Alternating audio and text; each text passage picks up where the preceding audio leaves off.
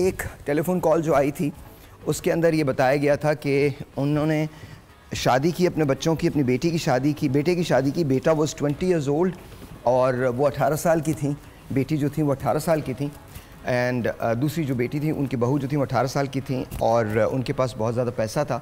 Uh, अब I don't know के this is how it is exactly क्या हुआ।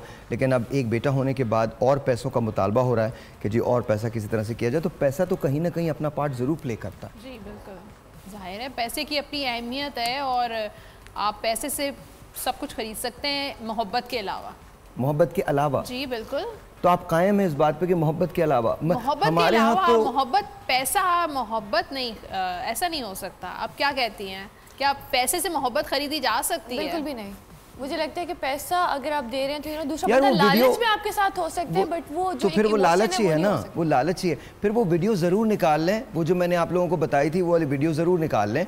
वो जो है आ, क्या नाम है ओके कोई बात नहीं।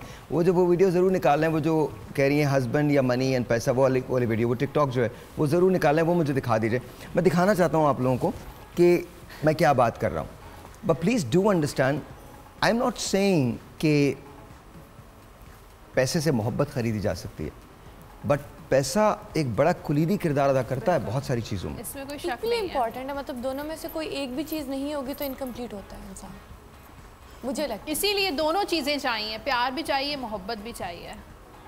और पैसे भी। आपको मोहब्बत नहीं चाहिए आपको मुझे सिर्फ़ पैसे चाहिए। मुझे सिर्फ़ मोहब्बत चाहिए। मोहब्बत चाहिए। हालाँकि आप यकीन मानिए मैं बहुत प्रैक्टिकल बात कर रहा हूँ। हाँ। देखें आपको इतना स्ट्रांग होना पड़ेगा। जी। मोहब्बत ये नहीं है। अच्छा मैं बिल्कुल एंड एंड के लिए रखना चाहता था बिकॉज़ मुझे लगता है कि हम बहुत कंफ्यूज होते हैं अपने फैसलों में।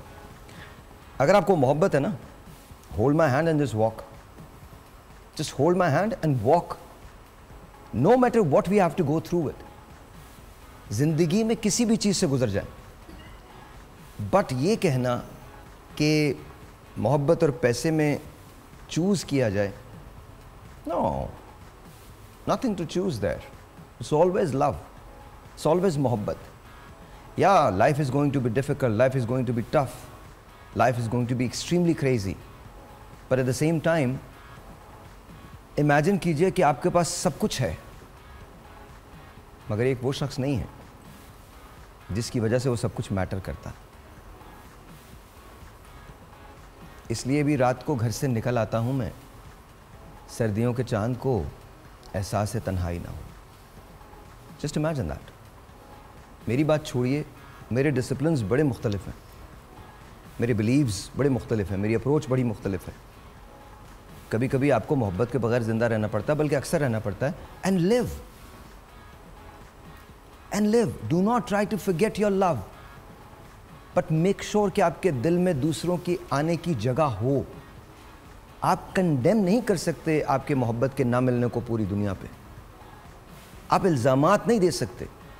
जुदा होना है, आराम से हो जाइए। साथ रहना है तो आराम से रहिए। ये जो शोर होता है ना, ये इस वजह से होता है बिकॉज़ आपने डिसाइड ही कुछ नहीं किया होता। जो लोग इनडिसाइसिव होते हैं, वो बहाने करते हैं कि ये हो गया, ये हो गया। मैंने हमेशा अपने रेडियो पे एक बात कही है कि साथ रहने के हज़ार बहाने, जाने का एक। और जाने के हज़ार बहाने, साथ रहने का एक। वो एक बहाना तलाश करो जिसकी वजह से यू कैन स्टे टुगेदर अब ये जाके आप ये वाली बातें नहीं करेंगी। आपने जिसके साथ आपने जो एक्सप्लेन किया वही वाली बातें करेंगी। वरना मेरा नाम लेंगी साहिर भाई ने ये कहा था साहिर भाई ने ये समझाया था। बिकॉज़ अक्सर क्या होता है अपनी तरफ़ से कोई बात कोट की जाती है कहते हैं साहिर भाई ने। मैंने वो कहा ही नहीं होता। वो बात ट्रेवल करती करती पता नहीं क्या हो जाती है। आपकी बातें इतनी डिफ़िकल्ट है उनको। कोई डिफ़िकल्ट नहीं है। आप सब कोई मैं बिल्कुल सीधी आपको जिगर पैदा कर ले कोई डिफ़िकल्ट नहीं है। आप क्या समझती हैं? मुझ पर कोई तनकीद नहीं होती मुझ पर लोग बात नहीं करते। But hmm. क्या मैंने मोहब्बत करना छोड़ दी लोगों से? मैं रेडियो क्यों करता हूँ? मैं रेडियो इसलिए थोड़ी करता हूँ कि रेडियो मुझे बेतहाशा पैसा देता है।